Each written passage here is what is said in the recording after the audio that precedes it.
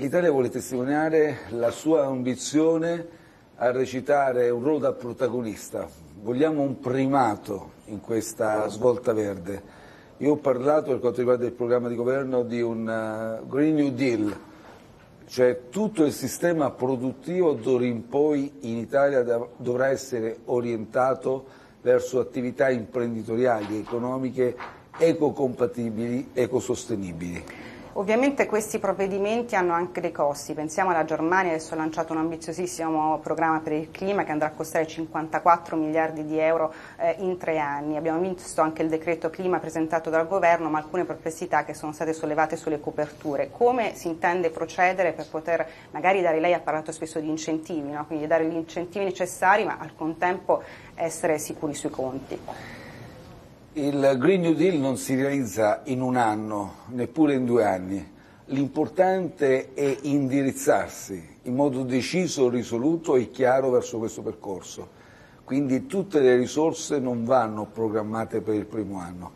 Sicuramente però il meccanismo incentivante è quello migliore, perché riorienta le attività produttive verso delle soluzioni convenienti economicamente incentivi da una parte e dall'altra anche disincentivi o se vogliamo in parte penalizzazioni per chi invece non ha comportamenti virtuosi. In quest'ottica abbiamo alcuni paesi ad esempio che hanno adottato una tassa eh, o stanno cercando di tassare maggiormente il trasporto aereo. Lei non aveva escluso questa possibilità, anche se poi abbiamo visto che insomma, nel governo ci sono pareri contrastanti a riguardo. Rimane una possibilità, un'opzione che lei potrebbe valutare? Guardi, adesso stiamo finalizzando un poco tutte le varie misure e le stiamo valutando, quindi non voglio anticipare quali saranno poi nel concreto. Ho detto una sollecitazione, una domanda specifica, ho detto che potremo valutare anche questa possibilità. Nulla è definito e voglio anche precisare che il nostro intento non è creare nuove forme di tassazione. Il sistema produttivo deve essere spinto e incentivato a orientarsi verso un'attività produttiva ecosostenibile, ecocompatibile. Quindi il meccanismo delle penalizzazioni non è quello da me preferito. A sorpresa l'incontro sul clima è arrivato anche al Presidente Trump che lo sappiamo ha posizioni distanti anche da quelle europee, ha deciso di uscire dall'accordo eh, sul clima di Parigi, però eh, fino adesso, eh, almeno per quanto riguarda il suo governo, ma diciamo c'è anche l'esperienza francese da questo punto di vista, no? con il Presidente Trump si può dialogare tranquillamente su certi temi, non essere d'accordo eh, su altri. Ci vuole parlare un po' del suo rapporto con il Presidente Trump, anche se avrà modo di vederlo in questi giorni? È un rapporto molto franco, molto diretto, siamo due persone che quando si incontrano comunicano molto direttamente, senza filtri. Questo non significa che dobbiamo ritrovarci su ogni dettaglio di politica interna addirittura. È ovvio che le politiche economiche e sociali che noi perseguiamo in Italia si devono adattare anche al contesto italiano. Le politiche economiche e sociali che lui persegue per gli Stati Uniti non devono essere necessariamente assimilabili alle Come nostre. i dazi ad esempio, no? che è una delle cose su cui... Per quanto riguarda i dazi, ovviamente io ho rappresentato anche al Presidente Trump in varie occasioni la preoccupazione che deriva dal fatto di poter dire, adottare delle iniziative che suonano protezionistiche e ho sempre detto che a iniziative del genere corrispondono poi delle reazioni innescando una spirale che diventa anche incontrollabile e ho anche spiegato che a noi questa spirale fa male perché come Unione Europea ci ritroviamo nel mezzo a subire anche effetti negativi, quindi mi auguro senz'altro che questa guerra dei dazi finisca al più presto.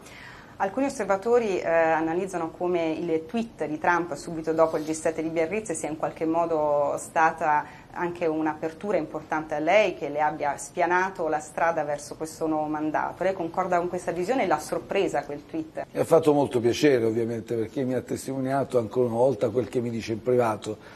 Eh, non credo che abbia influenzato obiettivamente la formazione del nuovo governo perché comunque era un processo che ormai si era già definito, era un po' nel, in rebus nelle cose e chiaramente non credo che le forze politiche o i protagonisti di questa svolta siano stati ispirati da quel tweet.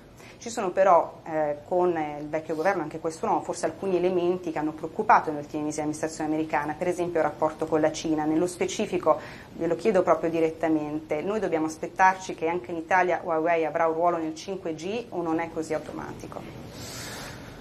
Beh, non è così automatico nel senso che ancora eh, giovedì scorso nel Consiglio dei Ministri abbiamo adottato ulteriore, un ulteriore provvedimento normativo che tutela ancora più efficacemente rispetto a quanto già in buona parte efficace eh, facevamo in passato la, il nostro perimetro di sicurezza nazionale, soprattutto per quel che riguarda le infrastrutture che possono essere, come dire, sotto, eh, permeabili rispetto alla tecnologia cibernetica diciamo, in generale. Da questo punto di vista oggi noi, e io come primo responsabile delle azioni di governo, sono anche responsabile dell'intelligence, sono quanto più eh, determinato, ancora più determinato a difendere il nostro perimetro di sicurezza nazionale. Quindi eh, siamo in una logica di mercato evidentemente, io non posso dire in termini astratti a prioristici a delle società che non possono avere accesso al mercato italiano, però è sicuro che qualunque provenienza abbia quella società, qualunque composizione societaria abbia, io farò sempre valere la difesa degli interessi nazionali e adopererò tutti gli strumenti di cui ci siamo dotati, da ultimo questo provvedimento di giovedì scorso, per difendere gli interessi nazionali.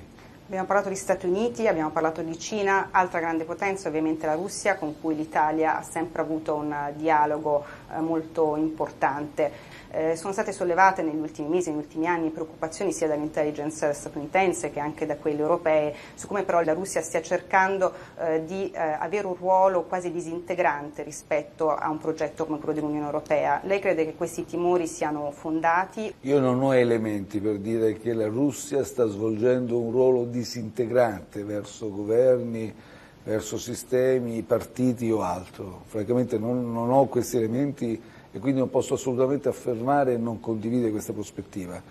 Eh, se lei si riferisce al fatto che il Presidente Putin, anche in recenti interviste, abbia espresso le sue valutazioni sulle tradizionali democrazie liberali, ma stiamo parlando di un dibattito politico e benvengano tutte le posizioni, ovviamente noi come governo perseguiamo un progetto politico ben preciso. Ritengo e aggiungo che la Russia giochi anche un ruolo importante in tutte le crisi geopolitiche più importanti al mondo. Quindi la mia posizione è che con la Russia bisogna dialogare, bisogna sempre mantenere aperto questo dialogo proprio per orientare a soluzione tante crisi importanti geopolitiche e anche perché nell'interesse delle nostre aziende, del nostro sistema produttivo, è trovare e incrementare queste reazioni per un mercato che è molto significativo. Eh, a riguardo lei anche nella precedente esperienza di governo per esempio ha sentito la necessità quando sono emerse alcune ombre rispetto a potenziali finanziamenti che coinvolgevano all'epoca partiti di governo di andare in Parlamento di parlarne direttamente con eh, i parlamentari. Ovviamente queste inchieste continuano, lei è stato anche sempre molto chiaro sulle sue posizioni a riguardo, secondo lei però ci sarebbe bisogno, suggerirebbe un ulteriore anche passaggio parlamentare alle persone direttamente coinvolte, forse per mm, dare maggiore chiarezza anche alla popolazione rispetto a certe vicende? La mia posizione è chiara.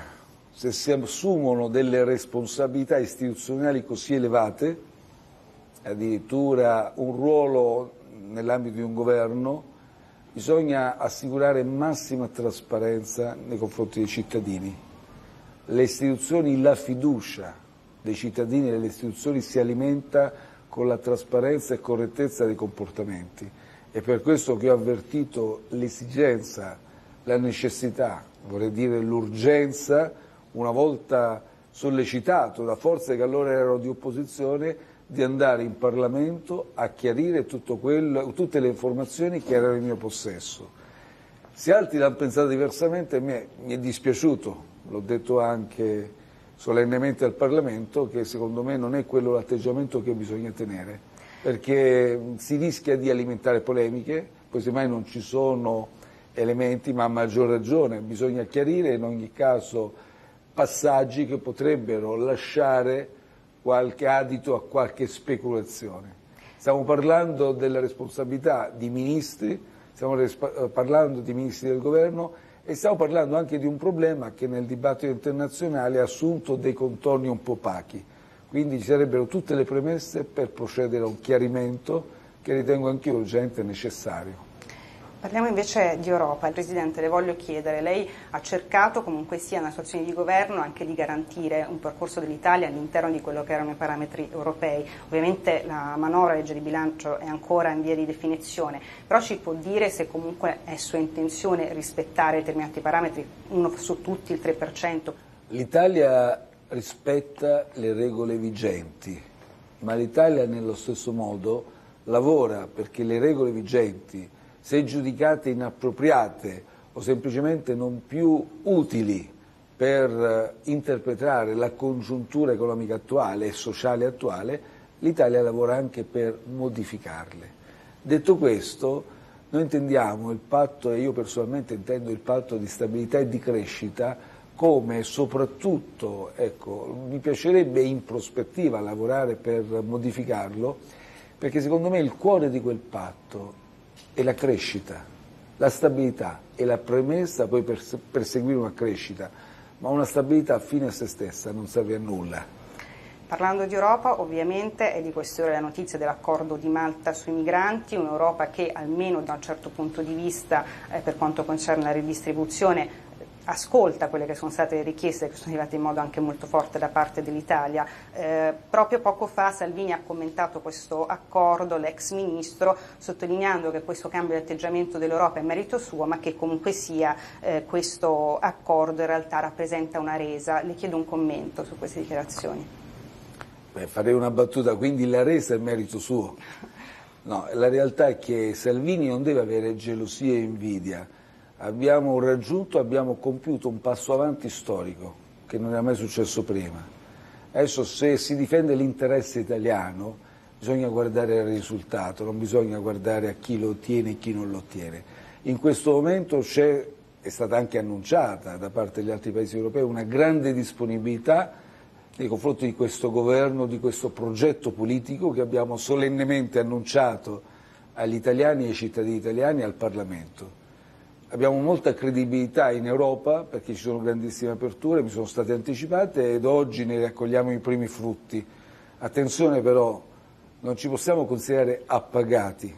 Questo primo passaggio di oggi a Malta segna questa svolta significativa, ma abbiamo ancora tanto da fare lungo la linea di una regolazione dei flussi migratori e soprattutto di contrasto alla migrazione clandestina e veramente se uno conosce la realtà libica e non solo comprende che noi dovremmo concentrare i massimi sforzi per tutelare queste persone, perché queste persone che si avviano per mare sono persone che lo fanno per disperazione e sono sfruttate da trafficanti che li avviano su imbarcazioni di fortuna e li avviano a, una, a, dei pericoli, a delle insidie. Molte sono morte nel Mar Mediterraneo. Noi questo dobbiamo evitare.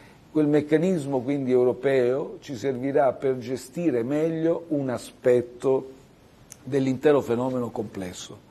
Dovremo evitare che sia un fattore incentivante, perché come ho detto poco fa, noi non vogliamo che ci siano nuovi eh, percorsi della morte, nuovi rischi corsi nel Mediterraneo. Un'ultima domanda Presidente perché anche secondo gli ultimi sondaggi che abbiamo fatto a Sky G24 lei insieme al Presidente Mattarella è la figura istituzionale che al momento ha maggiore gradimento in Italia. Un suo potenziale partito addirittura viene dato attorno al 20%, ma ci sarà un suo potenziale partito? Un partito lei ce l'ha già?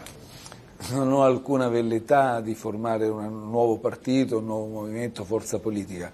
Ho sicuramente interesse a lavorare per il bene dei cittadini poi il fatto che lei mi dice, mi parla di quest'ultimo sondaggio che non conosco, ma il fatto che io e il Presidente Mattarella abbiamo un alto indice di gradimento, questo direi che sì, lo singa personalmente, però la cosa bella è che due alte cariche dello Stato abbiano questo gradimento, questo è bello per l'Italia.